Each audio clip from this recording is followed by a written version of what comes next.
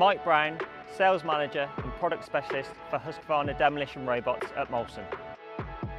Molson have recently been appointed UK dealer for these range of demolition robots. The product range consists of four models, from the DXR 145, which weighs in at 985 kilos, up to the DXR 315, which weighs in at just over two tonne. There are two main benefits of using a demolition robot over a traditional excavator, safety and productivity. Firstly, safety. Remote operation removes the immediate danger to the driver. Secondly, productivity. The power to weight ratio is much higher than you would traditionally find on a standard demolition excavator.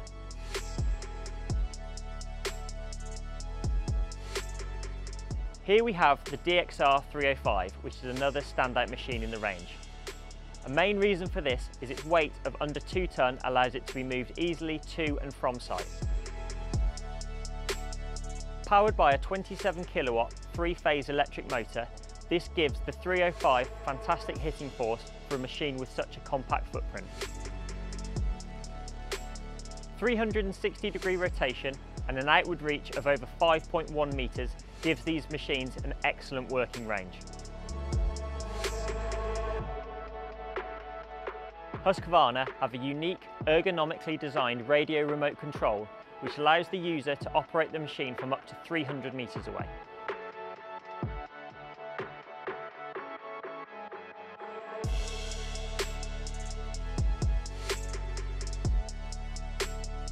Each machine in the range is equipped with individually operated outriggers, which allows you to adapt to the terrain of the worksite.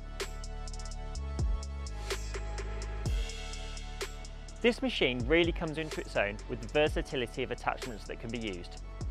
Comfortably carrying tools of up to 310 kilograms, allowing it to be used in a variety of applications.